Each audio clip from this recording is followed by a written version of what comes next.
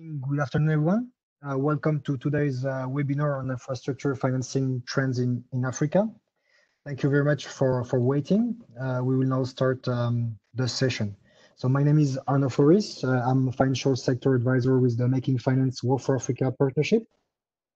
And as you can see on, on the screen, today's webinar is an opportunity to discuss the findings of uh, the Infrastructure Consortium for Africa flagship report uh, named Financing Trends in Africa and the last iteration, the 2018 iteration. And this is an important publication uh, for the financial sector community as it looks at sources of finance uh, for Africa's infrastructure development, highlights the role of the private sector and offers uh, policy recommendations uh, to increase the financing of infrastructure operation on the, the continents. And we, we are quite pleased to welcome you today as we've, we've had over 100 um, confirmations. So the, the, the, content of today's session uh, is displayed on, on, on your screen. Um, our esteemed uh, speakers uh, will uh, particularly outline how financing was spread between regions and, and sectors uh, with a focus on, on water and transportation. Uh, they will also explore the different sources of, of financing and identify sector challenges as well as, um, as investment opportunities. Um, so as you know, today's webinar is, is run by, by Making Finance um, Work for Africa, uh, which is um, which is a G8 initiative hosted uh, by the African Development Bank uh, and whose mission is the establishment of, uh, of a common platform for the harmonization and facilitation of financial sector development and, and knowledge sharing um, in Africa. And the partnership, as you can see on your screen, uh, focuses on, on three interlinked uh, strategic pillars. So from the left to the right, uh, financial inclusion, long-term finance, uh, and financial stability and regulation, uh, with um, knowledge management serving as a cross-cutting uh, pillar um, across our activities. So you can so from, from our website, uh, mfw4a.org, you can access thousands of, of articles and publications on financial sector development issues.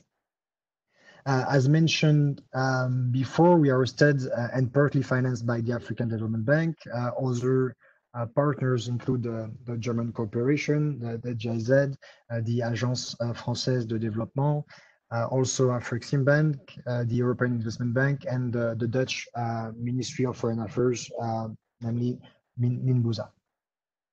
Um, before we get started, I would like to go over a few uh, housekeeping items, uh, including the, the structure of this, this webinar, as well as uh, important instructions on how to, to participate uh, in, uh, in today's event.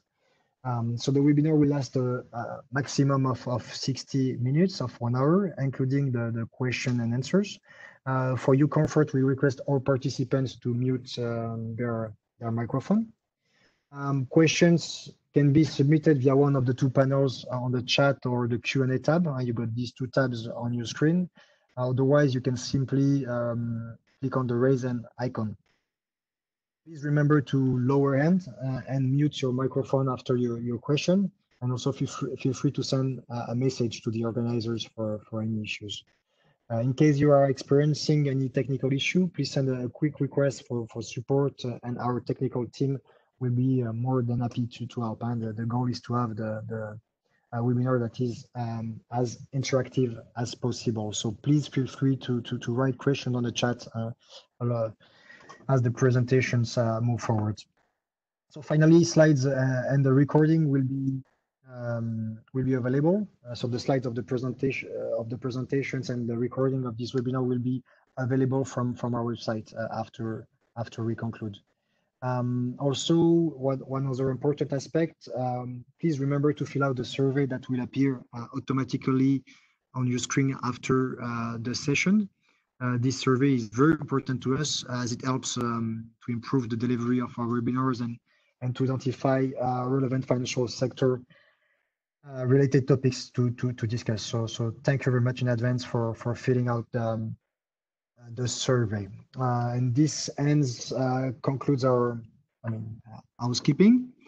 Uh, so today's esteemed speakers are um, Mike uh, Salawou, who is a division manager for the infrastructure partnership um, infrastructure and partnership division of the African Development Bank, and is also the Infrastructure Consortium for Africa coordinator.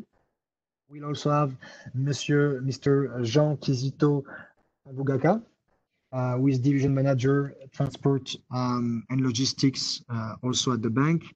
Uh, and last but not least, Mr. Oswald Mulenga Chanda, who is division manager of the water uh, security uh, and sanitation um, division, uh, also from the bank.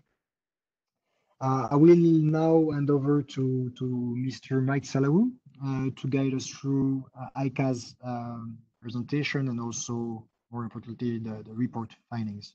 Mike, if you can hear me, the floor is yours. Yes, thank you very much, Arnaud. Um, pleasant to talk to you again and talk to the esteemed panelists, uh, colleague, Zito and Oswald, and as well as all the participants from, um, uh, I guess, uh, uh many uh, uh, corners of the world through this webinar. Indeed, a pleasure for me to briefly share with you Uh, the findings, the key findings of the uh, infrastructure financing trend uh, in Africa report by the Social Consortium for Africa, uh, following uh, Arnaud's uh, short presentation. briefly, the ICA, which I'm sure most of you are familiar with, is indeed another G8 initiative launched back in July 25 at the Gleneagles Summit, which really uh, uh, aim as a nation to uh, help to increase financing for sustainable infrastructure development in Africa. And of course, uh, as a result, help to improve the lives and economic well-being of African people. So it was really meant to put the infrastructure financing issue back on the agenda uh, at the time, uh, where you see Africa infrastructure gap uh, be an impediment for its economic uh, takeoff. And that's still the case today, even more so pressing that uh, we have experienced in the past, and we'll get into that during the presentation. In terms of value proposition, uh, uh, I'm, I'm, going to be very brief on this. Uh, ICA as a unique, is a unique platform for major actors in infrastructure space, uh, whether they're policymakers or infrastructure financing institutions, and also um, people who really design and build infrastructure. So it's uh, by its membership composition, and the network is a, a true consortium for infrastructure uh, uh, issues in Africa. It helps to advocate for critical investment issue in Africa, uh, one of which we'll discuss today through this report. And as you can see from the slide, we have been able to do uh, many activities in support of infrastructure financing, whether it's upstream, meaning uh, the policy issue, the reforms uh, that must be undertaken in order to facilitate and drain more financing infrastructure capacity building issue, and whether it's on a midstream, this is how do we organize and increase the, the bankability, bankable project available to really attract investment by putting in place what we call a project preparation facility network, whereby ICA play a key role in putting together all these facilities to work together with, uh, you know, to achieve this common objective of facilitating investment. And downstream, where we uh, uh, help our members, uh, the MDBs here, I can cite the World Bank, the IFC, the European Commission, the European Investment Bank, of course, the African Development Bank, the Islamic Development Bank, the Afrexim Bank, and now very soon also the West African Development Bank, which are all members of ICA who really uh, um, facilitate uh, investment in Africa. So in addition to those banks, I think our members, uh, established members, I would say, include all the G7 countries. So Canada, France, Germany, Italy, Japan, UK, United States, uh, and then um, also uh, the Republic of South Africa, the only African member state that we have so far. So it's an opportunity for me to really thank them for their support, continued support to ICA. Without them, this would not have been possible, and we keep uh, looking forward to engage with them. So I will move on to share with you key findings of this uh, 2018 financing uh, infrastructure financing report. Next slide, please. Yeah. So why is this uh, report uh, important, particularly for this year? Uh, briefly, the importance of this report should be seen in conjunction with uh, the increasing financing trend, uh, financing gap in Africa. Uh, the African Development Bank has recorded uh, something in the, in the, in the region of 170 billion as investment gap that we have, of which financing gap is close to 100 billion, all sectors together. So this is a key uh, context uh, factual that we must always keep in mind, which guide everything that we do. Hence, the importance of tracking financing as to what extent we are indeed bridging that gap. So this year's report came up with very interesting uh, uh, uh highlights. It actually helped to to to, to put light uh, uh, on a key thing that I'll share with you later in the presentation. But next slide. Yeah. Okay, next one. Yes, sure. So in terms of big picture, uh, what is the key uh, uh, message? What happened actually in 2018 in terms of financing? For the first time, uh, we were able to record 100 billion of investment, 100 billion of investment in African infrastructure for the first time. And this is uh, about 27 or let's say 24% increase compared to 2017 financing uh, infrastructure in Africa, which uh, you know is uh, is a landmark achievement. And and and and, and here, uh, I think we need to really pause on this and then you know really mark this kind of landmark achievement. 100 billion has never been recorded before. And, and, and, and again, if you compare to the last three years average, uh, we are actually added about one third more investment in African investment in African infrastructure uh, over the last uh, four years. So this is a, indeed a very good achievement. And where is the money coming from? Who are the you know institution or, or, or, I mean financing infrastructure in Africa? First source, which has been consistent, is actually the African government. So African government, once more, have contributed 37.5 billion in terms of investment, meaning about 30 representing about 37.2% of total commitment to infrastructure in 2018. This has been consistent for the last past years where we see African government really stepping up and play their part. And this is followed by China, which is not surprise, uh, about 25.7 billion, which represent 25, one quarter of total commitment to African infrastructure. And I will explain to you later what really uh, uh, trigger uh, this kind of uh, investment from China. And third source that we are uh, able to track down ICA members, which I briefly uh, highlighted before. ICA members have collectively put about 20.2 billion investment commitment into African infrastructure, representing about 20%, and that is followed by your private sector, which also for the first time has increased their investment beyond 10 billion, about 11.8, and representing 11%. So that gives you a little bit um, breakdown of the sources of investment uh, that we were able to track down in 2018. Now, where are this investment going to? Meaning which region, and I'll also talk about sector. In terms of region, we have um, the West African region, which attracted the bulk of this investment, about a quarter of it, uh, meaning 25.6%, followed by North Africa, about roughly 20% of investment went to North Africa, and uh, East Africa, about 15% uh, or so. Uh, South Africa, of course, 70%, and then Southern Africa, uh, as a general, is 13. If you take out South Africa or single out South Africa, it's about 70%. And Central Africa is the least of the region which attracted investment.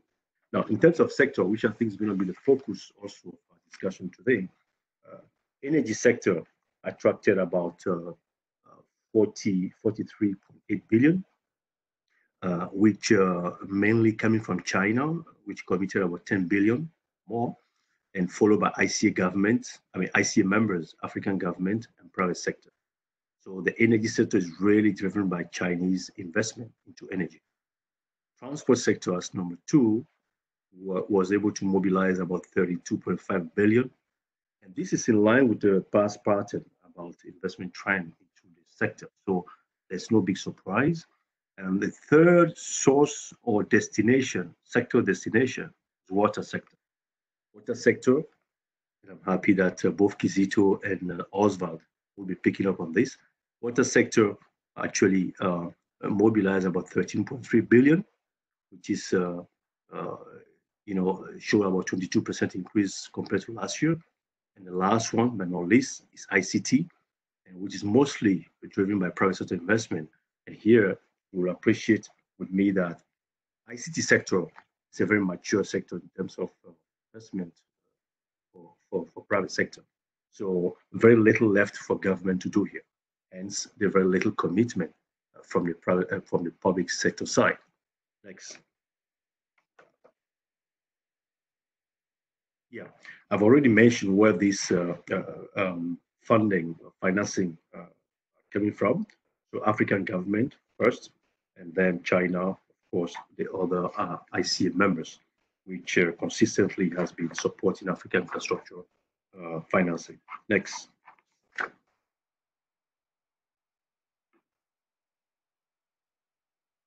Yeah, uh, I just want to single out the, the, the increasing effort that ICA member have been doing. As I mentioned before, you know, ICA has a purpose. The purpose of ICA is to really mobilize funding support African infrastructure. So ICA member have been doing heavy lifting collectively since inception, and I think that should be singled out. Now, in addition for ICA member putting the funding, which is their core uh, uh, uh, support to ICA, they also play a prominent role in leading on the policy reforms agenda and also institutional reform agenda. Throughout the more than 10 years of ICA's existence, ICA members have collectively been able to impact and have uh, a real impact on the policy reform agenda uh, in, uh, in Africa. Uh, one of them that I actually can mention is actually the issue of uh, quality infrastructure issue, which I think members of ICA have played a tremendous role in putting out their lot of analytical work that you can find on our website to help the countries to seriously address the issue of quality infrastructure. We also meant sustainable infrastructure because we believe that you know we can actually uh, uh, work closely or be closer to bridging the gap infrastructure if we also pay equal attention not only to investment but also also to the issue of quality infrastructure, which I think is uh, on the minds of uh, policymakers uh, in African countries. Next. Now, critical importance. We talk about financing, how much were committed this year, I mean, in 2018, where the money went to, and also uh, which sector benefited from the, uh, from the financing. And more importantly, there's still gaps in African infrastructure. So this report really put a, a light on the remaining gap and also try to, you know, attempted to uh, also put a light on which sector, you know, have the uh, the critical gap that uh, that uh, that I mean that must be addressed, and that will help us as we trying to you know direct investment to see where do we really channel investment. By no surprise, I think overall yearly financing needs, as I mentioned, is about 130 to 170 billion, and then the average commitment a year is about 83 billion, leaving a gap of you know, uh, close to 100, uh, I mean, 47 and 87 billion dollars, depending on how you how to measure it. But sector-wise, water sector remain the least or the, the sector with the most gap. Through the report, we're able to estimate that gap to be between 43 to 53 billion, followed by the energy sector. Although there have been increased investment into energy, there's still some gap there about 5 to 20 uh, billion uh, in, the, in, the, in the energy sector. And then the transport sector as a third one, for between 4 to 16 billion. And of course, ICT, as I mentioned, is the one with the least gap, uh, about 0 to 3 billion, meaning that ICT, what is left for ICT to really do is really on private sector side, as the government have invested you know, in, in putting the, the, the minimum infrastructure required for private sector investment. So that tells us that uh, we still need to do more in energy, I mean, in water sector, energy and transport. So uh, as I mentioned, Kizito and Oswald will tell us how do we uh, bridge that gap in those two sectors that they represent here today. Next. Then another key issues and challenges that this report uh, uh, pointed at uh, when we take the, the, the water sector, where I'm, you know the biggest gap, the key issues for the sector to uh, achieve financial sustainability or to mobilize resources is actually to address the issue of financial sustainability of the public utilities. And this, uh, I think Oswald is best placed to talk about this issue. Uh, we have a low tariff, which still uh, far away from uh, you know cost recovery tariff is still impeding Uh, uh, financial sustainability of this utility, hence uh, making them the balance very weak in terms of engaging private sector to, to increase investment. And also, of course, the low level of operational maintenance expenditure also leads to large additional capital expenditure for the water sector.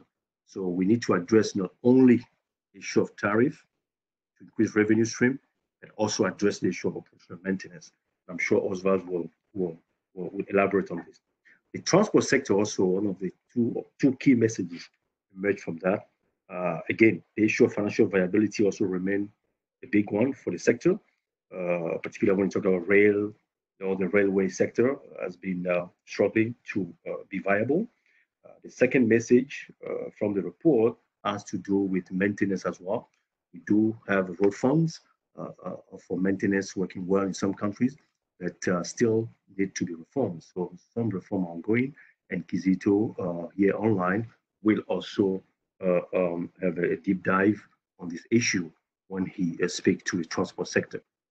The power sector, uh, the gap could be eliminated uh, within two or three years, according to our our estimation. if China keeps commitment level, to what we've seen in 2018, and also when others step in. So we can quickly arrive at bridging the gap in energy sector with increased appetite for private sector and the heavy lifting that China is doing in the sector. And again, uh, uh, this is uh, uh left for discussion as we move forward. The ICT, as I mentioned, important public sector role is on the regulation side. So the regulatory environment must ensure competition is there as a broad and equitable access to ICT uh, sector. So the liberalization of the sector is actually bearing fruit, and we need to maintain regulatory uh, uh, uh watch and oversight. So my last um, slide before I meant to before I move to um, other two key points that I wanted to share with you will be on the five key messages. So what are the key messages that this report brought uh, to light? One, African government can save billions of dollars with stronger national planning, project selection, and feasibility process. Here again, you see that, you know, uh, it's always the saying that the money is not an issue, but what's an issue is the bankability of the project that are out there in the market, accessible to investors that, you know, will trigger their investment decision. So we need to put more emphasis on project preparation and quality of those project preparation. Second message was good maintenance can free scarce resources for capital investment. This has been uh, mentioned over and over again that maintenance actually help to bridge the gap with infrastructure financing. Third message, increases in both public and private sector funding required to continue to improve economic and social performance. So we still need to do more in both sectors. As the public sector is stepping up, private sector also need to step up. But we know very well to get private sector certain reforms must be in place to attract uh, private sector to work more together. What message? Increased private sector financing is needed, particularly in water and transport. I'm sure my colleagues will address this issue. Last but not least, African national government could move more quickly with decentralization by giving local government more responsibility and more accountability. And again, I would like to point out that uh, it's an area where we think that uh, future reports or engagement should also focus on how do we enable and capacitate local government to really have, you know, financing uh, uh um, uh, uh, opportunities to, to address their infrastructure issue. Next, and this will be my last slide. Then I'll hand over quickly. The 2018 infrastructure financing trend also put light on two topics, which are not part of the report, but as a separate report. And I'm inviting you to go to the website to check on this report. It's the role of private sector in infrastructure financing, which we find to be very interesting finding there because it pointed out uh, why we are not seeing institutional investors rush into infrastructure. Is that issue of regulation, is issue of financial viability and risk, and so on. So that report actually is very helpful in highlighting that sector. The other one is the issue of quality infrastructure investment, which again is uh, a, very recurrent theme today because we discover that as you put emphasis on more investment, you also need to address this issue of quality infrastructure and having a, a life cycle approach to infrastructure planning. Of course, since we are all working within the G20 quality infrastructure investment principle, this is something that uh, we also want to see uh, going forward. And ICSN ready to promote and help African government to mainstream this kind of principle in the investment plan. Uh, I know that completes my presentation and uh, forward to questions. Thank you very much, uh, Mike, for sharing the report's findings. If you can just unmute, unmute yourself um, for uh, the moment being. Okay, perfect. Thank you very much. So, so thank you very much for, for sharing the, the report findings. This is quite uh, enlightening. Um, we are now going to deep dive into two specific sectors, uh, both extremely important for, for the continent. Um, and first listen to, to Mr. Oswald Chanda uh, on uh, water uh, on the water sector challenges. So as I mentioned in the introduction, Oswald is the division manager uh, of uh, the water security and sanitation um, division of the African Development Bank. Oswald, if you can hear me, you can unmute yourself and the floor is yours. Thank you very much. I know. Thank you very much.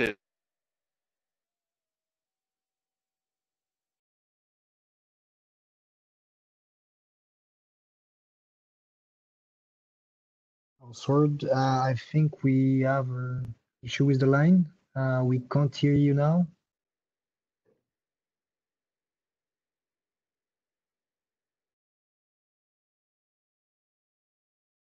Uh, can you perhaps try to mute and unmute yourself?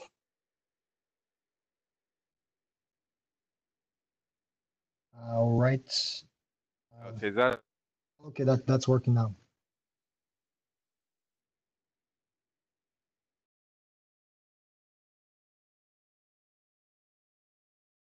I think there there might be a connection issue. Um, try to unmute and mute yourself again.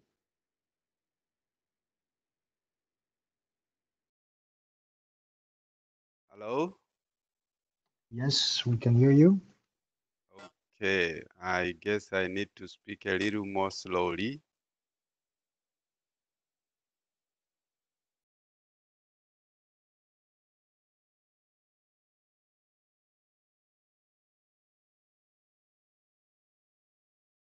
I think I think we have yeah I think there is an issue either with the microphone or the or the connection as well. Um, sometimes happen with the internet connectivity.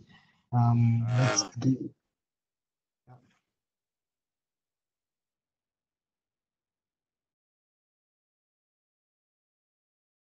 So, so also it seems that there, there is an issue. What we can do is um, just um, we'll take care of the technical issues. Uh, I would suggest we just give the floor to to, to Jean. Uh, the time, uh, just the time for us to to solve this this technical issue. Would that be fine? Yeah, that'll be fine. Okay. Okay. Perfect. So so so so. Uh, well, um, thank you. Um, so we I will now hand over the floor to, to, to Mr. Kabanguka to, to, to get us through the transport uh, sector challenges.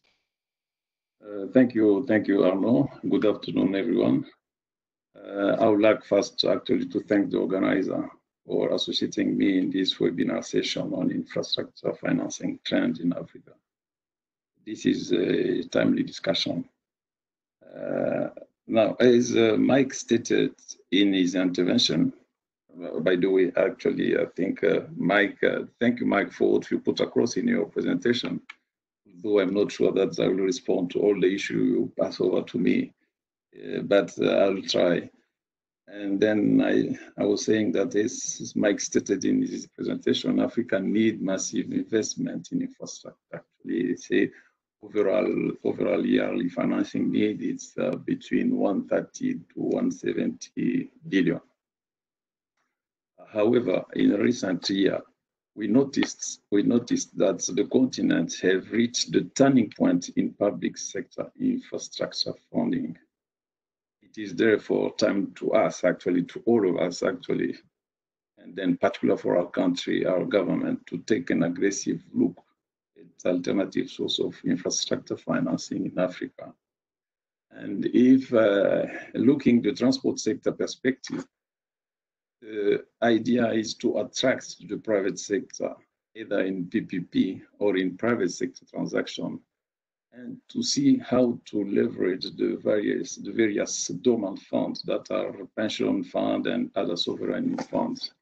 I think uh, the, recently we are trying really to to look for some alternative uh, way of funding our infrastructure, particularly in transport. And then uh, for some of the projects, actually, there is a, a, there is an appetite actually for the private sector to chip in. Uh, now, in addition to that, I think it's really very important uh, for the continent to take advantage of uh, of the grid that grid potential by putting in place two key two key measures actually. First of all, it's effective institutional arrangement to manage to manage the complex takeover project planning. I think most of the time when we are working on infrastructure development, there is a problem of, uh, of executive agency. I think this is uh, this is one of the key issue countries should actually put in place. Secondly, I think is to focus on the soft side of infrastructure development, on tackling the big policy and the regulatory issues. I think for me, that it's the, the big picture. I think for transport, we have uh, the gap is something like uh, 35 to 50 billion dollar per billion dollar per year. And then uh, I think uh, from that point, I would like to bring to, to you two key messages. And and then I think that will bring a probably thing that can help us really to have a more pro productive discussion. The first message it's uh, it's it's about pension fund. Insurance investors such as insurance company, pension fund, and sovereign wealth fund have more than 100 trillion in assets under management globally. From that, we strongly believe that a small fraction of the excess global savings and uh, resources will be enough to plug Africa's financing gap and financing productive in profitable infrastructure. I think that it's really very important. The second, the second one is uh, Africa don't, do not need to solve all their infrastructure problem before they can achieve sustained and inclusive growth. Instead, they should focus on how to best use their scarce infrastructure budgets to achieve the highest economic and social return. I think, uh, particularly on this one, I think we need to agree that universal access to high quality infrastructure can only be a long-term goal. When we are talking about uh, funding, actually, I think it's really very important to keep that in mind. I think we need to try really to achieve what the, the, the, the, the infrastructure gap with limited resource, resources, and that led to government spend too much on too many projects with low income. This that means beyond spending more, Africa government must spend better. Uh, now, I think I don't know if there is need to go in detail by by, by sector and subsector, because there is uh, the picture actually in transport. It's really very very uh, complex. For instance, for sector, actually, I would like to share with you the, our experience in, uh, for instance, in aviation sector, where, for instance, the bank think that the private the private sector should be the one leading actually the development of that uh, that subsector. While for the rail one, railways and uh, uh, roads should remain actually under the the push of the public sector. Port has it's a very big cake actually for infrastructure development because there is already private sector actually who are really instrumental on the port development infrastructure. And this is why for, for, for me, I would like to, to discuss the last topic. It's about uh, regional uh, projects. I think uh, under the under this uh, African trade, uh, uh, African free trade area, think we receive a lot of actually push for the, con the continent to develop actually comprehensive regional project, regional infrastructure project I think uh, that there is a need really to invest massively actually on that regional regional project and uh, probably uh, I would like to bring that to the attention of the participants. We have more discussion. I know that there will be some question about uh, why the regional project is not uh, is not successful in the continent, why we can put in, in infrastructure in place and then the the traffic is not is not the flow of traffic is not uh, there is a problem on that one. I think I don't know, Mike, if uh, I don't respond to all your question, actually you pass over to me. But uh, this is the key, the three key messages I would like to share with the participant. Thank you, Arno. Thank you very much for these very clear messages. Um, Mike, I, I, can see you're on mute. You want to react to that? Yeah, no, I think uh, you know um, to put a, a, lot of emphasis on the on the on the key issue really. Uh, you know, uh, this, this this issue of uh, turning point. I think I fully agree. The government have have delivered their their their burning share, and I think now what we are trying to do more of is uh, get private sector to to to enter. And one of the avenues is uh, through a PPP, where we are solving uh, the more complex one of uh, institutional investors, as you mentioned, and also pension funds, uh, which has a tremendous asset under, under management. But, you know, I, and I know on that front, the recent MDB's report that the bank has, has led, because the president of this bank was recent time, until last month, I would say, uh, the, the, the, the head of uh, uh, the, the, the, the, the MDB's uh, head uh, um, network. So that report is very is very telling. I think we should share that report uh, with the, the people. Uh, we can find that on the ICA website, on the bank website as well, which really put uh, emphasis in the same direction that we should do more to incentivize um, institutional investors to put a lot of focus on infrastructure and one way of doing that is through regulation. The other one is also through uh, the de-risking instrument that uh, the bank and other MDBs uh, have in their um, in their toolkits uh, to really uh, uh, leverage and manage the risk aspect, which I think is a, a key impediment for institutional investors moving into African infrastructure. So how do we help them to de-risk this this their investment through the use of you know partial risk guarantee and uh, uh, and then the other uh, type of guarantee that the bank had. And, and, and I think that's something that we should collectively work on. Of course, the issue of project preparation is also there. How do we prepare a project that is attractive enough for private sector? So I think as we move on uh, with this webinar, uh, we will have more uh, to say about how do we get institutional investors mm -hmm. in, in public infrastructure. Okay. Uh, th thank you very much, uh, Mike. That's a, that's a fundamental aspect indeed. Uh, Jean, you want to react to that?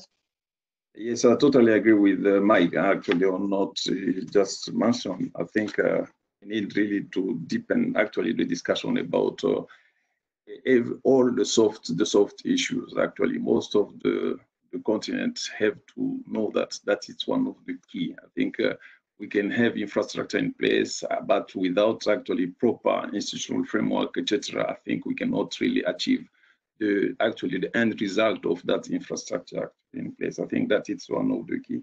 The second one is actually institutional framework as well as for regional as national. Uh, would you suppose really to take the lead in terms of uh, implementing actually regional and national projects? Actually, also that it's one some of the things actually are missing when people are talking about financing, funding the infrastructure in the continent. Thank you. thank you very much, Jean. I would like now to give the opportunity to to Oswald to to guide us through the challenges uh, on the water sanitation um, sector. Oswald, if you can unmute yourself and give it another try. Hello. Yes, we can hear you. Okay. Good.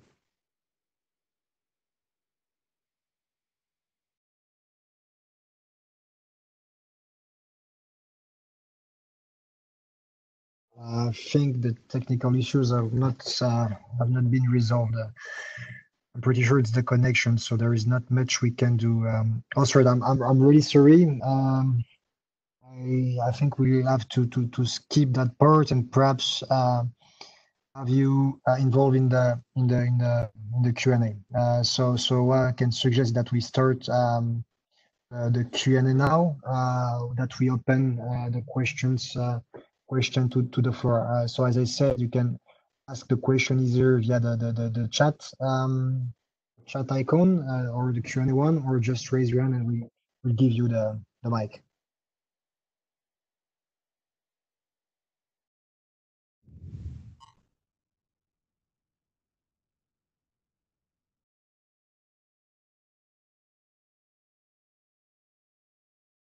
Um, so um, I don't see any questions for now. Um, so I might have one myself. Um, one to Jean.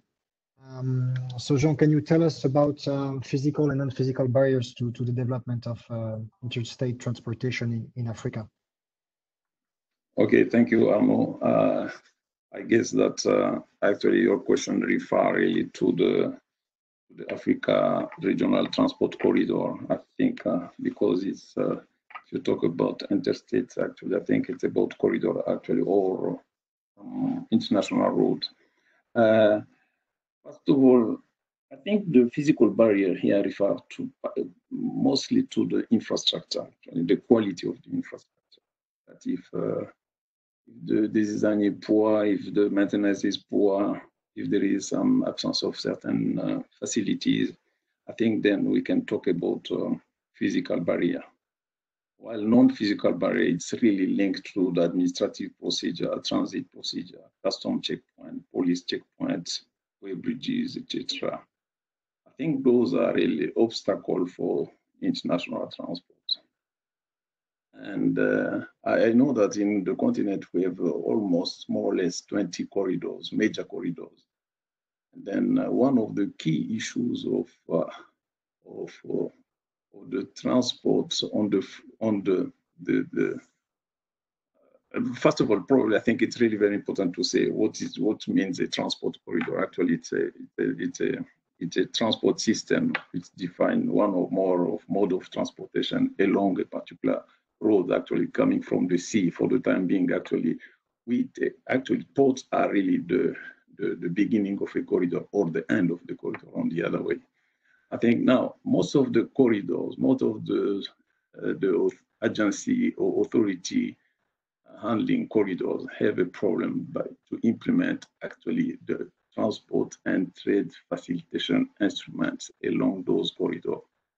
This is why they are really facing a big problem, and in that impact, of course, the, the high transportation cost of all our corridors in Africa. For me, I think uh, there is just one one solution for that one. It's uh, the Q and it's uh, the political will. I think uh, uh, we see that for some region when up to the head of state are involved actually in looking how goods are moving along the corridor, I think there is a change. Otherwise, for the other region, actually, I think uh, a corridor can remain actually under the the the, the police or the custom checkpoint, etc., are really the big boss of the corridor, and then we can for, have for 1,200 kilometer, the truck can spend something like 20 days.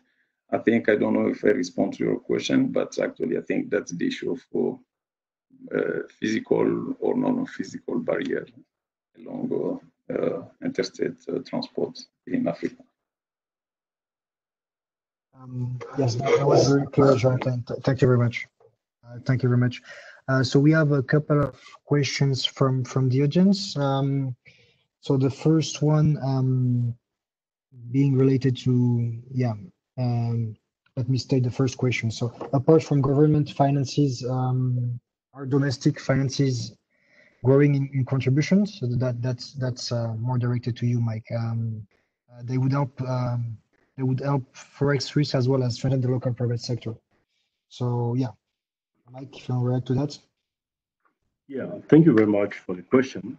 And I think um, yes, uh, domestic resources mobilization, uh, as we mentioned, has to do with uh, government uh, mobilizing fiscal resources to uh, to fund their own infrastructure through different means either by tax uh, tax revenues and also uh, issuing uh, funds. it could be infrastructure bonds and, and, so on. I, I, think we are we are actually seeing, as we mentioned, as, as the report pointed out, an increase uh, an increased investment from African government. They're actually leading the way.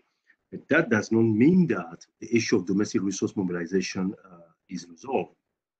I, I, I, would like to say that it's actually uh, one of the, uh, the solution to actually bridge the gap because uh, uh, we know very well that uh, you know mobilizing resources that are outside of the government control is actually subject to a lot of critical text. You know, we talk about issue of reassuring institutional investors, in private sector want to see specific uh, uh um, uh, bankability issues or commercial viability issues. So uh, the more we focus on uh, internal or domestic resource mobilization, uh, the better. one way is also to address this issue of illicit financial flows that also we know very well. It's no secret to anyone. It's actually huge issue here in Africa that we try to address and channel those resources through government and uh, uh, to, for infrastructure financing. So domestic resource mobilization, yes, is actually uh, the way to go. It's actually one of the solutions for us to, to bridge this infrastructure gap. And uh, of course, linked to that is the whole issue of local uh, currency financing infrastructure, which is also an issue in terms of uh, mobilizing downstream financing for, for, for African infrastructure. So we will be one of the area where this report uh, will uh, will try to address as we move forward. How do we increase domestic resource mobilization to fund African infrastructure? All right, Th thanks, Mike. Uh, Jean, okay, no, Jean, Jean, you just muted yourself. Um, uh, Mike, another question, uh, this time linked link to, to the financing from, from pension funds. Um, so can public infrastructure projects uh, be de-risked enough during development uh, to attract pension funds? Yeah, um, yeah, that's uh, that's one area where uh, the bank is has been has been very actively working. Uh, as you know, we we have a lot of uh, de-risking and guarantee instruments uh, that we put to reassure and make investment easier for institutional investors who uh, have uh, a lot of concern about uh, the risk, you know, the risk aspects of their, their investment because of the nature of their, their business. They're actually very low risk and, and, then have also a long-term view. So someone needs to de-risk this project.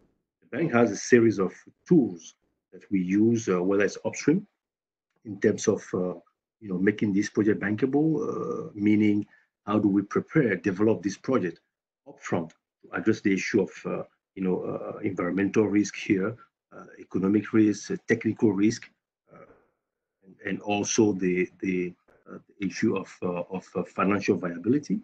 So we do have a series of instruments. One of them is, of course, uh, project preparation facilities that the bank uh, holds.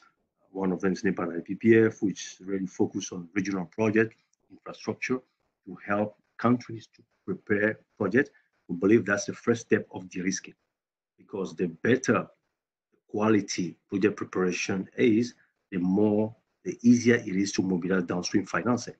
So that's where it's difficult to mobilize funding.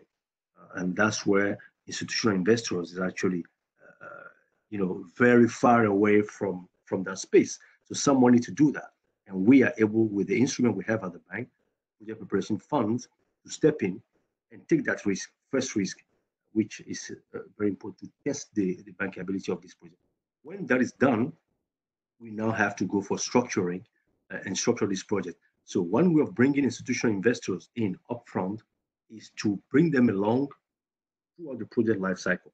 So what do I mean by that?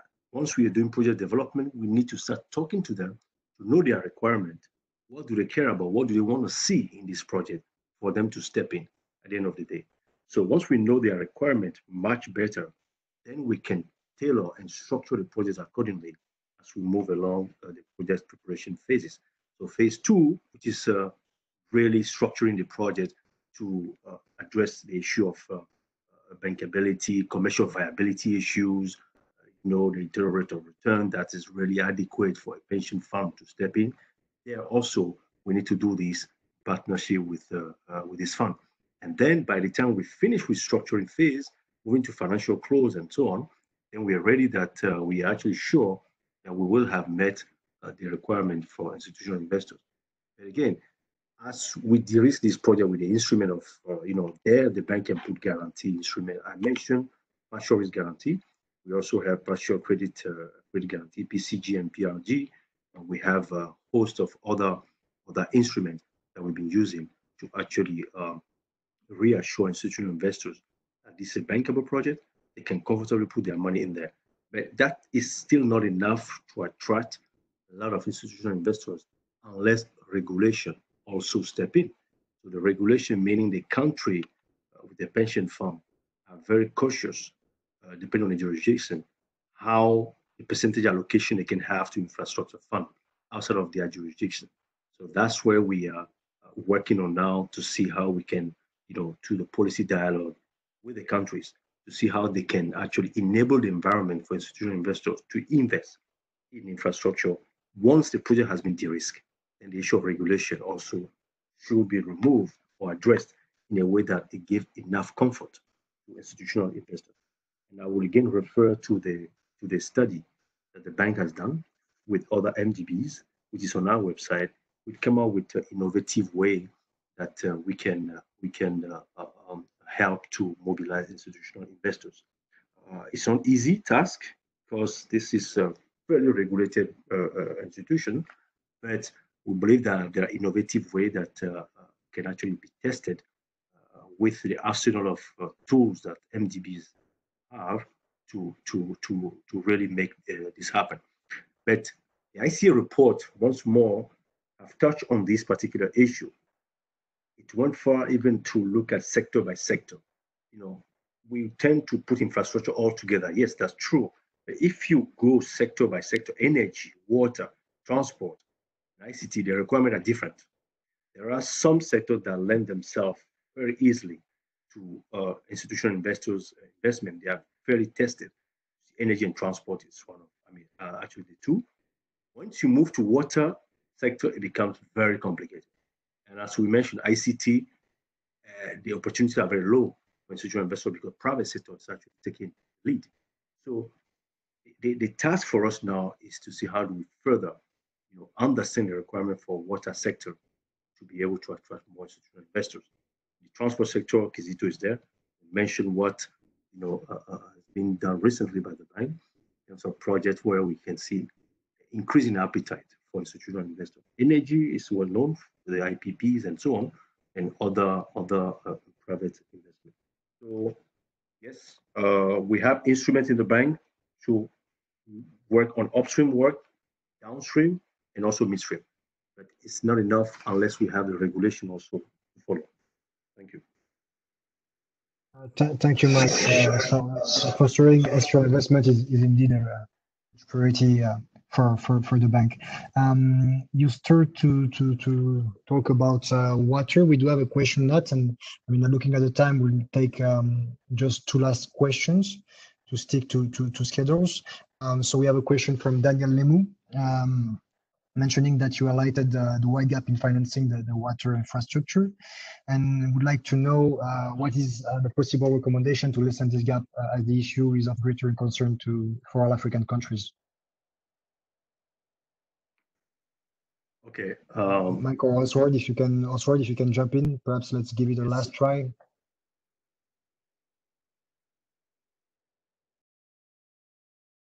Right. So, so Mike, you, you can go. You can go ahead. Hello? Okay. Oswald. Y- You can get me now? Yes. Right now we can hear you, Oh, and we just lost you again. we, we're not lucky today. So very much, very, very sorry about that, uh, Oswald. Um. So, so, so Mike, could you could you react to that uh, question? well, it's difficult for me to step in the Oswald shoes here, but uh, I think, I mean, uh, again, based on our our report, uh, what we found as um, as a way by which we can increase private sector participation in, in water is really to address the issue of financial sustainability. You know, for long, water sector has been perceived as being a social sector, uh, yet uh, we've seen uh, private sector investment in other regions in Africa. For instance, if you look at Morocco, which has really opened up uh, the water sector to attract a lot of private sector investment, particularly on the, the distribution side.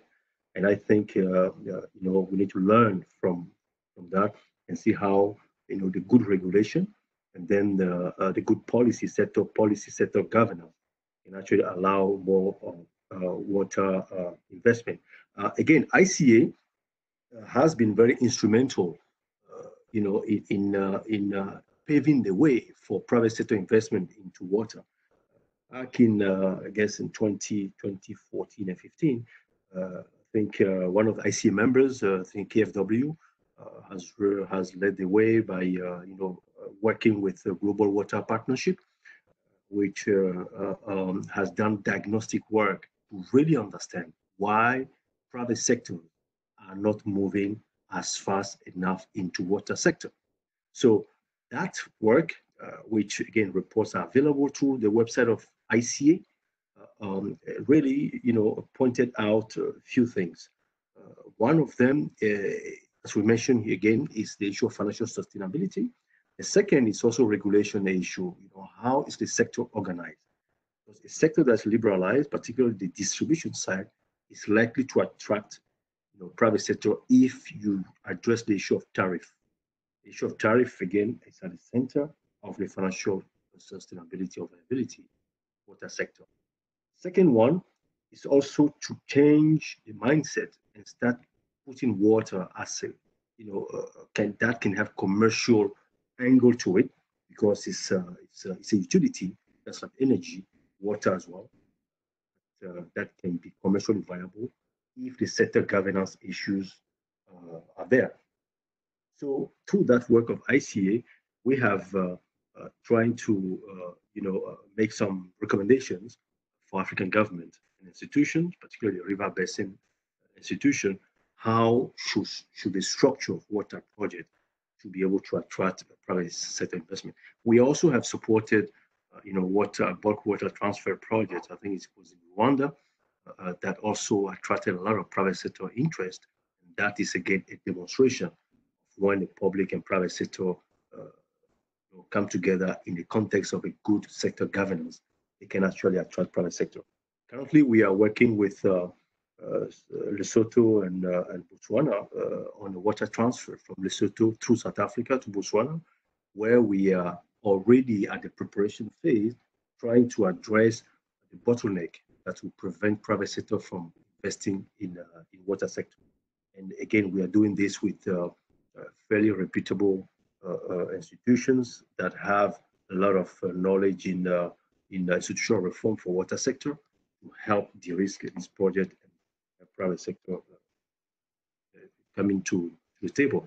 But uh, as I said, Oswald is more is better placed to, to talk about this issue than myself. But because of uh, that he's not able to to, to step in, and I share with you very high level, broad broad uh, views about how water sector is uh, is doing uh, to do this. and and also reforms is very important in this context. I mean, uh, you know, certain governance has to do with reforms. You you need to do the right reforms uh, to to to to to to really open up the sector and make it visible enough to private sector to see opportunities, uh, whether it's on the on the distribution side and also on the transportation side, where we can see, you know, interested. And I will defer to Oswald if he's connected. I'm not sure. I know. Uh, he's, connect, he's connected, but it seems we we are having a hard time to to to hear him after Oswald. Let's give him a last, very last try.